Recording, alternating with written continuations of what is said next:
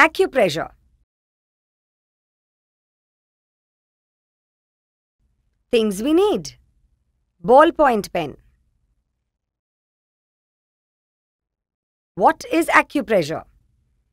Acupressure is an ancient healing art using the fingers and other parts of the body to skillfully press key points which stimulate the body's natural self-curative abilities.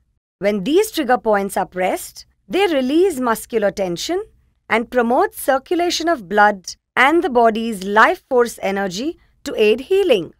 The points are commonly called acupuncture points, pressure points, acupoints, or acupressure points. To press points, use something blunt. Usually, the fingers are used to press. Sometimes, we can use ballpoint pens or fingernails. Pressing points for less than half a second can already have a distinguishable effect. For just trying out a point, you could press it only briefly. To get a full effect, however, pressure should be applied for at least half a minute, but preferably longer. One to two minutes should do.